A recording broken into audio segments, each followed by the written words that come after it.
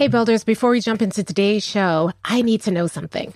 Are you and I connected on the socials? Because if we're not, we need to be. So connect with me. I'm on Facebook at Robyn Jackson. I am on Twitter at Robyn underscore Mindsteps. I'm on LinkedIn at Robyn Jackson. Let's connect and let's keep the conversation going. Now, on to the show. You're listening to the School Leadership Reimagined podcast, episode 254.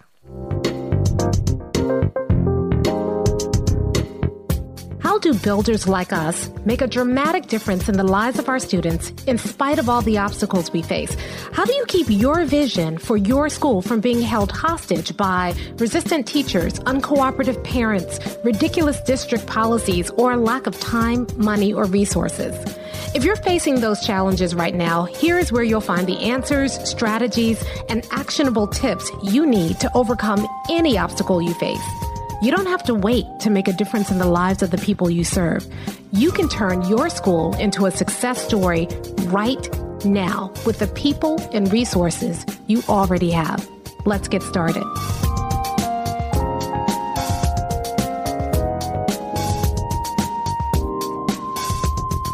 Hey, builders, welcome to another episode of the School Leadership Reimagined podcast. I'm your host, Robyn Jackson. And today I want to talk to you about something that someone asked me recently at the ASCD conference. It was great seeing so many of you at the ASCD conference, and thanks so much for coming to my session. And every time I do a conference session, doesn't matter the conference, um, when I get there and I get set up, once I'm set up, there are usually a lot of people in the room who are just kind of waiting for the time to start. And so I hate that. So what I do is I normally open up the floor for Q&A. So it's always a good idea to get to my sessions early because you can get, you know, some questions answered, hear other people's questions get answered. It's really a fun time. So I was doing that at the ASCD conference and there was a gentleman there who asked a really interesting question. He said, you know, I am about to start my AP journey and I am a builder my heart and I want to make sure that the school that I select and the principal for whom I work is a builder. So, what are some signs to let me know that someone is a builder? Didn't have a whole bunch of time to go in deep for the answer. Um, so I gave him a quick answer there. But I've been thinking about it a lot because I do think it's really important, especially as you are on your buildership journey, to understand what are the signs that someone is a builder. If you are an aspiring principal and you are looking for a place to land, it's really important for your buildership journey to work with someone who is a builder to it, otherwise you're just going to be frustrated. I know too many APs right now who are builders and they and they want to do this work, but they're working for a principal that's afraid to take risk or they're working for a principal who um, shuts their buildership work down and pushes them more towards a leadership or worse, a boss paradigm. So it's important to be able to screen that way. If you are already a principal, it's important to, as you're looking for APs or um, other people to work in your building, that you can recognize, even if people don't know that they're a builder yet, these are some signs that someone is a potential builder. Um, you know, you can, I know what most people do is just say, here, here's my vision. Do you agree with that vision? And if I want the job badly enough, I will say, yeah, I agree with your vision. I love your vision. I, I can't wait to do that work. But do they really? And so there's some other things that you can listen for in the conversation that help you recognize whether or not the person you're dealing with is truly a builder, even if they don't know it yet. So I want to share that with you today, especially as we're going into interview season, whether you are switching districts, you may be a principal looking for a job yourself and wondering if the superintendent that you are thinking about working for will, will support your buildership, uh, your buildership dreams and your buildership vision. So this is another reason why this is so important. Okay. So I want to give you three telltale signs that may not be so obvious, but will let you know if someone is a builder or, or will support you as a builder. Okay. So the first one is, of course, the obvious one. It's the bigness of their own vision. Usually when someone is a builder, their vision is, is bigger, right? So they're not, their vision isn't just, you know, I want to grow 3% here or 5% there. Like if you hear that, you know, you're not dealing with a, with a builder. If you hear things like, I think we can grow more, I'm really interested in hearing about how we can eventually reach all kids. Those are signs that that person is a builder. Now that's the obvious answer, right? Everybody kind of knows that, that if, if the closer someone comes to having that 100% vision, or even the closer someone comes to, to, to getting excited about hearing about your 100% vision, the more likely they are to be a builder. So that's the obvious one. The second sign that that can let you know that someone is a builder is to listen to how they talk about time. So builders think in bigger time increments. A boss is thinking about next day, next week, next month. So when, when they're talking to you, they're talking about what their plans are to either get to the end of the school year or what their plans are to get through next month or next week. Their, their time increments are very short. And that's as far as they see. That's as far as they think that's a sign that you're dealing with somebody who's going to be a boss. And usually that's also a sign that you're dealing with someone who is not thinking about the long term. They're just busy putting out fires. They're busy dealing with just the day to day. They're stuck in the day to day and they're going to want you to be stuck in the day to day. And so when you start talking about this bigger 100% vision, it's going to sound like nonsense to them because they can't imagine getting to 100% the semester. And that's what they're worried about. So you want to be careful about people whose time horizon really kind of is limited to a semester or limited to the next couple of weeks or the next couple of months. Now, if you're talking to a leader, their time horizon is going to be next year. So they're talking about the next year, but they can't see beyond that. So leaders tend to think in like year long chunks. So right now, a lot of leaders are thinking about their 24, 25 uh, plan. They're, they're already starting to think about like the next school year, but that's as far as they can see. And their plans don't extend beyond the school year. So when you talk to them about, okay, so what are the things that you're putting in place or what are the things that you are thinking about? They're going to say, well, this year we really want to get this in. And that's as far as they go. And the challenge with people who think in those year long increments is that all of their strategies are limited by the year. They're not considering strategies that might take longer, but render or yield more results on students. And the other danger is that they typically change strategies from one year to the next. So this year we're doing uh, PLCs. Next year we're doing PBIS. The following year we're going to do uh, ninth grade academies.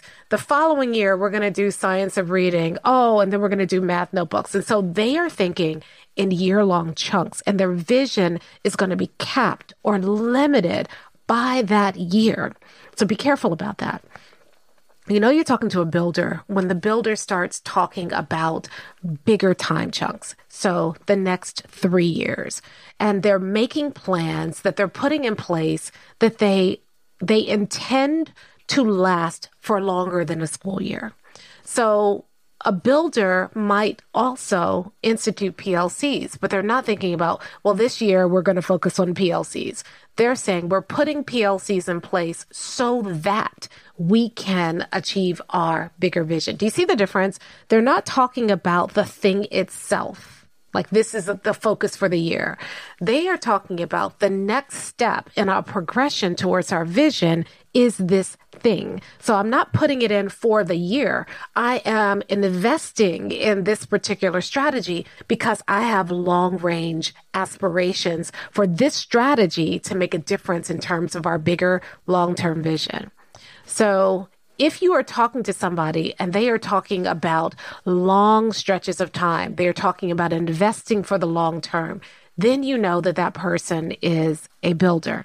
Now, I also want you to apply this to yourself, right? So if you hear yourself talking about, well, this year or this semester or this month or this week a lot, then that's a sign that you are slipping out of buildership and, and you're going back to the way you were trained as a leader or as a boss. And so I want to encourage you to even monitor your own language. It's really, really important that when you're talking to your staff, when you're talking to your teachers, that you help them to recognize that the things that we're doing now, we're investing in because we are thinking long term. Okay. So a lot of times people hear buildership and they say, oh, yeah, your vision in three years or less. And so they start trying to talk in three year time frames, but they're not thinking that way. It's really important that as a builder, you stretch out your time frame. Now, I struggle with this too because I'm thinking about, well, we got to get this done right now because, uh, you know, there's a problem that I have to solve or there's something, there's a goal that's in front of me. And I have to fight against that and start thinking about, is this something that I want to be doing three years from now? Is this something that I can see us doing five years from now? Because if it isn't, should I be doing it now? Because usually, if you're thinking about, well, this is what we're going to do right now, but then later on we'll do something else, then what you're doing is investing in a band aid and not investing in a long term solution right? So I've done podcasts about this before where there's this saying that says, if you can't, if you don't see yourself doing it for the next five years, you shouldn't do it for a day. If you don't see yourself doing it for the next decade, you shouldn't do it for a day. And builders understand that. So we're not saying, well, this is what we're going to do right now until we get to this point, then we'll do something else. Builders are saying, if we're going to invest the time and energy in doing something, we're going to do it for the long term. And here's what it does for your staff it keeps your staff from lurching from one initiative to the next. And because they know that it's not going to last, they never invest fully. So, how do you even know that the thing that you're investing in will work if nobody invests in it fully because you know next year it's going to be something else? Give yourself time, give yourself time to really get good at something. And so anything that you introduce as as a as a policy, as a strategy, as a tactic that you're doing in your school, you need to make sure that the thing that you're you're suggesting is something that you feel like you can do a decade from now, that it will still serve you a decade from now. If it doesn't, you shouldn't do it for a day. No band aids. Okay, so that's the second way. The first way, the bigness of their vision. The second way, the length of their time horizon. And the third way is the type of problems that they solve. Okay, this one really really important and it's very subtle but once you once you learn this and you start learning to listen for this you're going to be amazed at how clear it really is when you talk to someone what kinds of problems are they solving right? Are they solving tactical problems? Are they solving things like, well, you know, we're trying to get our attendance from 85%, you know, to at least 90% attendance, right? That, so we're, we're, we're going to, we, what kind of, you know, phone tree should we use? Or, um, we want to increase more rigor. So I'm looking for a lesson planning format that I can get all of my teachers using so we can, you know, get everybody to write rigorous lesson plans? Or does anybody have a, a, a great warm up activity that will get students more engaged? Those are tactics.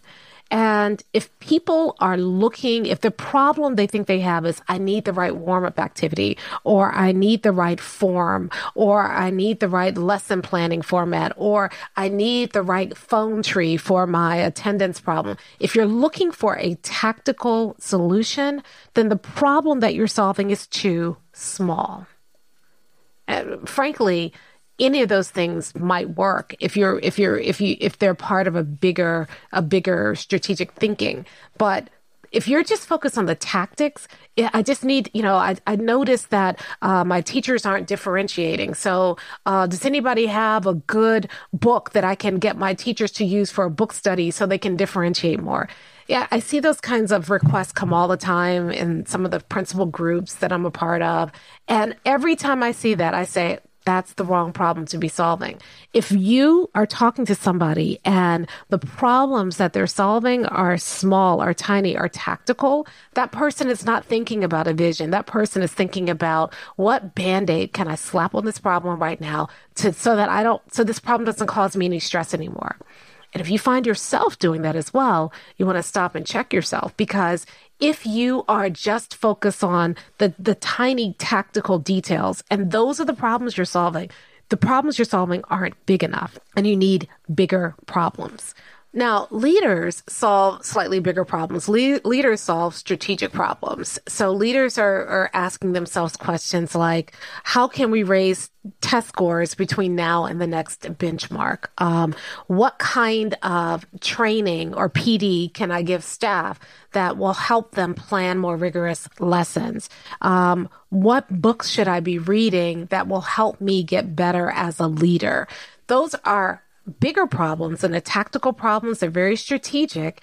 And we've been trained to solve problems like that. So when we solve those kinds of problems, we feel like this is the work. This we're doing our jobs. But here's the problem with that when you focus on even those bigger strategic problems, you know, how do I increase test scores this year? I've noticed that attendance is sinking. So what can we do to improve attendance? Um, I noticed when I did on a, a walkthrough that the teachers are not teaching to a level of rigor. How do we give them more PD to help them teach with a greater degree of rigor?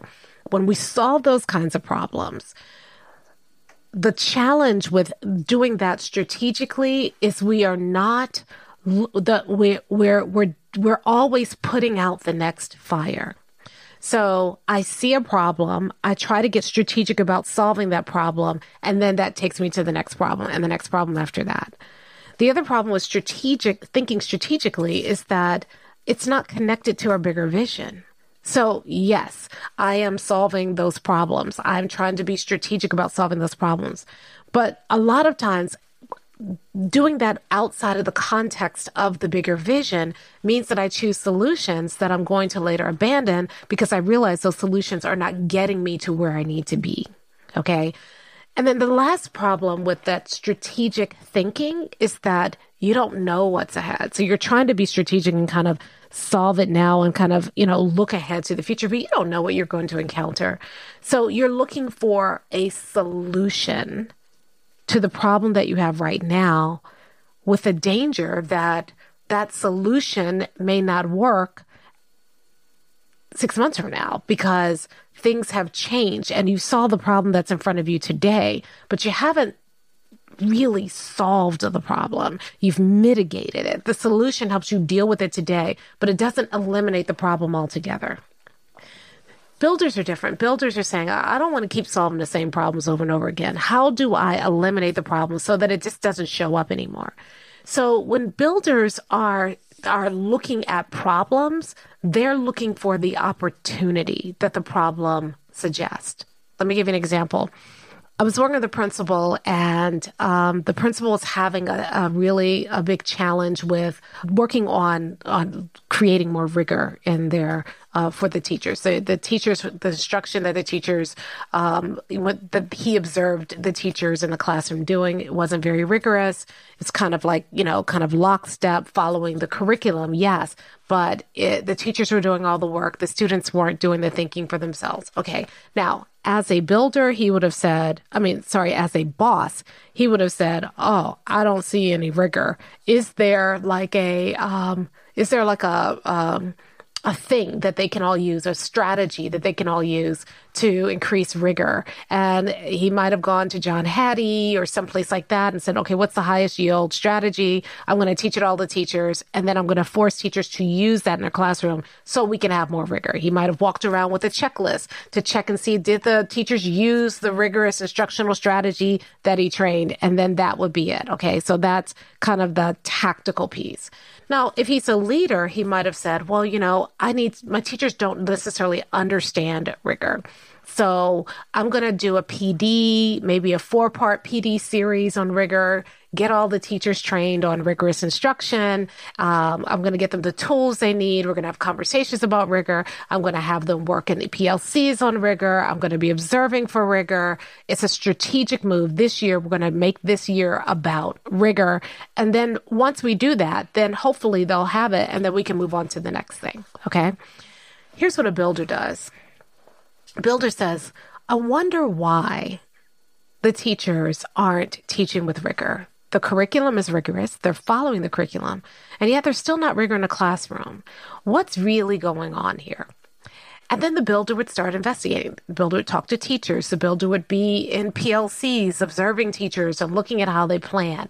The builder would be looking at the curriculum itself and seeing is the curriculum really as rigorous as they think they are. The builder would be kind of thinking about what's happening in the school. And as the builder does that, the builder finds the opportunity. The builder gets to the root of the problem and says, here's the opportunity for our staff. Hey, Robyn here. And I just want to break in real quick to ask you a huge favor. You see, I want to get the word out to everybody about buildership, and I could use your help. If you're really enjoying this episode, would you mind just going to your podcast platform and leaving a quick review? You see, the reviews get the word out. They tell other people this is a great show. Other people who have never heard of School Leadership Reimagined before can hear about it and you'd be sharing the word about buildership. So would you mind just leaving a quick review? It would mean the world to me. Okay, now back to the show. Now, that opportunity might mean at the end of the day, yeah, there needs to be more training. But the training is not just let's buy a rigorous training package and do that. The training is saying, okay, how, what aspect of rigorous instruction do we really need if we're going to get to our vision? How is this keeping us from our vision? And what's the opportunity here? If I remove this barrier, how does that get us to our vision? And then the builder is going to figure out, okay, even if we do training, we're going to focus our training on this aspect of rigor. Because if we can get our teachers thinking in this way and connect it to our vision, that's how we're going to achieve our goal. And so the builder is not looking to solve problems. The builder is looking to see what those pro- what opportunities those problems represent. Okay, so in this example, when we started looking at it and really thinking about it, we saw two things. First of all, the teachers didn't really understand what rigor was. They thought rigor meant harder, more complicated, that sort of thing. So we had to clear that up, right? So there's an opportunity there to have a conversation as a staff about what rigor really means. But the other opportunity we saw was that a lot of the instructional strategies that teachers were using were quote unquote the right strategies, but there was the there was an opportunity to for teachers to to take those strategies and find unique ways for students to engage in the material. And the teachers weren't seeing those opportunities. The teachers felt like they had to do the thing the way that it was supposed to be done. So there was an opportunity for us to go back and have a conversation about our vision, about our mission, about the core values, and then have teachers really see what that meant for their instructional practice without having to force teachers to kind of all use the same strategy. So the PD looked a little different. So first thing we did was we assessed teachers in terms of their understanding of rigor. And we moved, we put teachers into four different groups. Those who were novices around rigor, those who were apprentices. That's the language we use. You know, the novices, they don't really understand it. They need some basic instructions on what rigor is and helping them understand that. And they really were struggling with some lesson planning as well. And then we put the, some teachers in a group we called apprentices. These were teachers who had a lot of the instructional strategies, had a basic understanding, but couldn't quite figure out how to make it work in their classroom for their subject. Then we had a group we call practitioners who were doing a pretty good job with rigor and the instructional strategies, but we saw opportunities for tweaks that could make it even better. And then we had the master teachers whose classrooms were so rigorous and so masterfully done. And with the master teachers, we were working with what are the adaptations? What are the things that you are doing that maybe we don't even understand that we might be able to share with other people and standardize it? Um, how do you, how would you take this curriculum and make it more rigorous? And we were giving them opportunities to play with stuff. And we divided them into those four groups. And the opportunity was to work with teachers where they were. And the goal of each group was to help them to get to the next level so that they could tackle the next challenge in front of them. What's really interesting is that when we did this and we got, we, first of all, all the teachers were engaged, all the teachers were getting PD at the level that they needed it. The conversations were rich. Everybody felt unleashed to be very creative. And we saw tangible progress. And then a matter of months, every single, we couldn't find a classroom that wasn't rigorous because we found the opportunity there. So when you think like a builder you're you're not thinking about solving problems from a tactical level or strategic level. You're looking at the problem, understanding the problem first and saying there's an opportunity here. And I promise you when you start to think that way as a builder, everything changes. I'll tell you I'll I'll be honest with you. Even though I you know, live, eat, and breathe buildership. There are times when I still struggle with buildership. And we were working on something uh, a few, like maybe a month ago, and it was a problem, right? And so I went because it was a problem that felt big and, and I, I felt a lot of pressure around it. The first thing I did was I start looking for tactical solutions. And you know how this works because we're all educators, right? So I started reading everything. I started, I mean, like I was telling a group the other day, I had 52 tabs open on my computer with different websites. I was looking at, okay, what is this person doing? What is this person doing over here? And I was looking for a tactical solution. And all it did was make me feel more and more and more overwhelmed, right? So then the next thing I did is I said, okay, these are tactics. I don't really know. What's the strategy? So then I started studying different strategies and trying on different strategies. Should we do this strategy? Should we do this strategy? Should we do this strategy? And I, again, felt very overwhelmed. There are a lot of options. Which one's the right one to do? I don't know if you feel that way sometimes when you're, you know, looking for the strategy and the solution. How do I know this one's going to work? Right. So I was feeling that way. And whenever I feel overwhelmed, the way that I deal with it is I just go grab um, some paper or sit down at the computer and I just get it all out. I just, just do just do what what's called free writing. I just write whatever's on my mind. And over time, stuff starts to organize itself. Just seeing my thoughts on paper helps me to kind of say what's really going on here. And I said the problem is I talk buildership. I'm trying to solve a buildership problem, but I'm not thinking like a builder. So instead of a tactic or strategy, where is the opportunity? What's the problem that I'm trying to solve? And then where's the opportunity in that problem? And so I looked at the problem that I was trying to solve and I thought I was trying to solve one problem, but when I really thought about it, I realized that's not the problem I'm trying to solve. I'm trying to solve this other problem here. So I got to the root. I realized the problem that I was really trying to solve. And then I said, okay, so here's the problem. What are the opportunities? And the way that I found the opportunities, is I took every obstacle, every objection, and I turned it around. So, you know, let's think, think about it in the school thing. Well, I don't have the time during the day to get teachers together. There's no common planning time. So, what would that look like in a school context? Okay. So, let's say that your problem is that you don't see a lot of rigor happening into, in the classroom. And so you go in and you you're looking at all the things and then you say, okay, we understand that that the the teachers don't really understand rigor. I'd love to group them into groups, but I don't have any common time. I get teachers once a month for their contract for a staff meeting, and then that's it. I don't have any other common time where I can get teachers together to be able to group them in a way that's differentiated. That's the obstacle.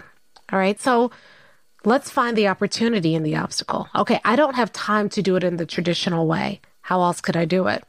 Could I do some sort of online PLCs?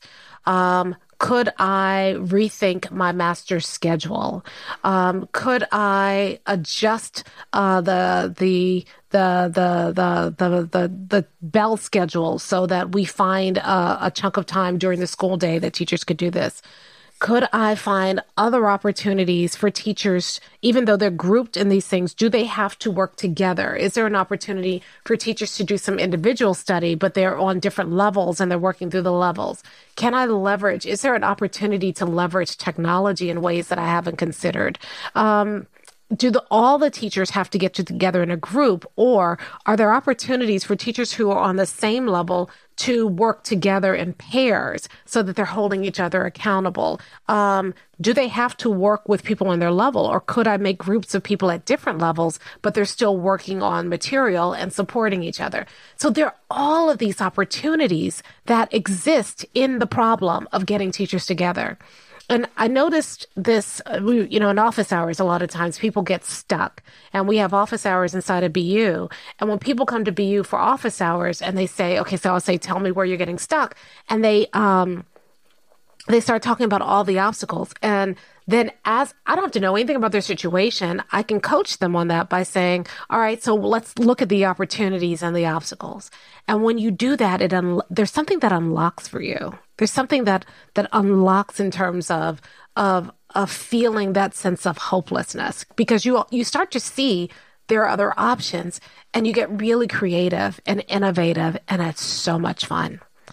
So you want to work with or for somebody like that. So when you talk to them, I would ask them questions like, "So, what's the biggest challenge that you're facing right now and and and and how are you tackling that?" Because listening to them talk about, "Well, I've been reading a lot," or uh, you know, I, I I have this great tactic that I want to try versus, "Well, I've been thinking a lot about the problem itself." And trying to understand that and and I feel like the problem has some opportunities there. That's the sign that you're working with a builder.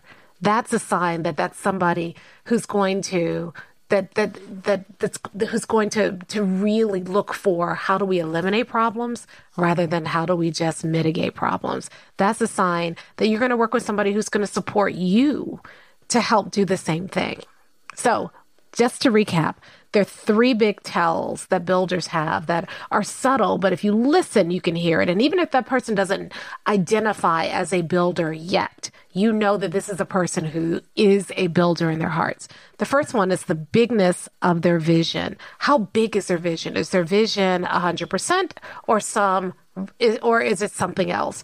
If their if their vision isn't really truly about all kids. I know people say all kids, but when you talk to them, they say, "Well, you know, I'd like to get all kids," and it's it's more of a dream, not a vision. They're not focused on working towards helping all kids. Listen for that. The bigness of their vision, not their hopes, their dreams, but their actual vision for what you, their school or their organization or their work can actually do.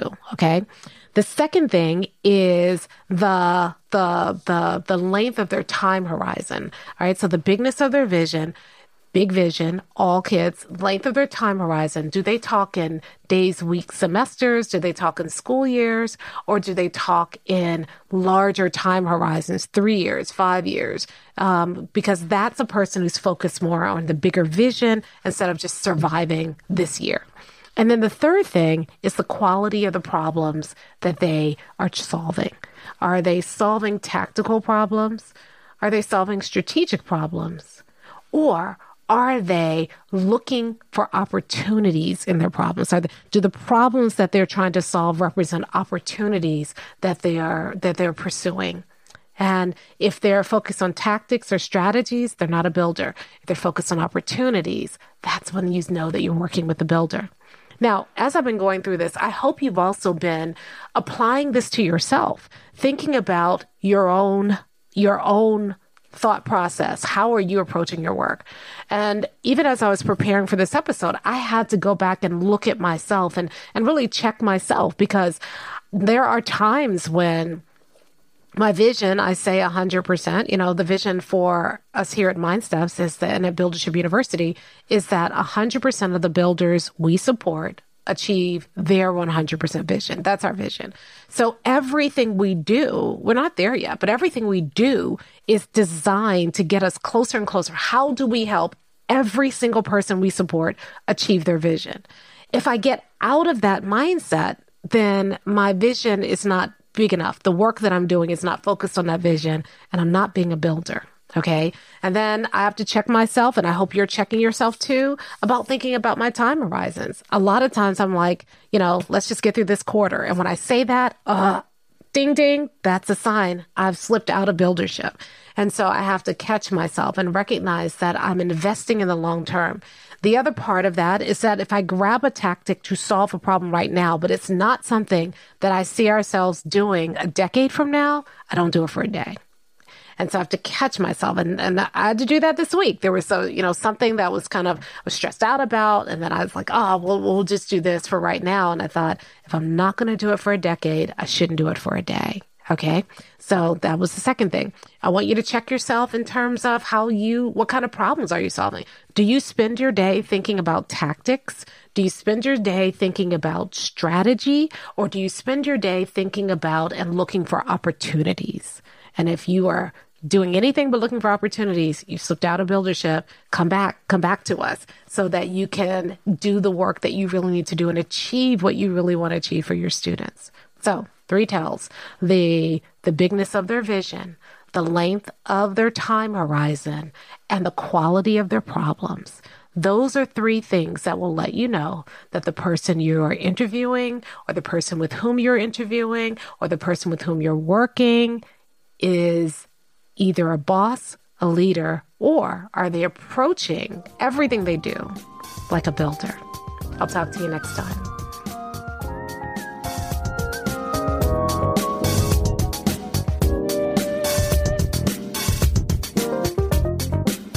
Hey, if you're ready to get started being a builder right away, then I want to invite you to join us at Buildership University. It's our exclusive online community for builders just like you, where you'll be able to get the exact training that you need to turn your school into a success story right now with the people and resources you already have.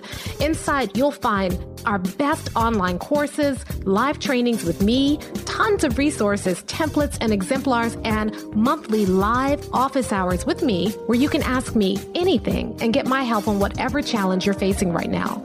If you're tired of hitting obstacle after obstacle and you're sick of tiny little incremental gains each year, if you're ready to make a dramatic difference in your school right now, then you need to join Buildership University. Just go to buildershipuniversity.com and get started writing your school success story today. Hey, real quick before you go, if you enjoyed today's episode and you know someone who would really benefit from what you heard here today, maybe they're struggling with the thing that we talked about in today's episode, would you take a moment and share this episode with them? You see, not only will it help us get the word about buildership out to more people, but you're going to look like a rock star because you're going to give people something they can really use to help them get unstuck and be better at building their schools. Plus, it would mean the world to me. Thanks so much, and I'll see you next time.